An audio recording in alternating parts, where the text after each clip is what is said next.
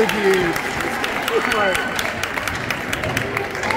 looks like my grade in rubric.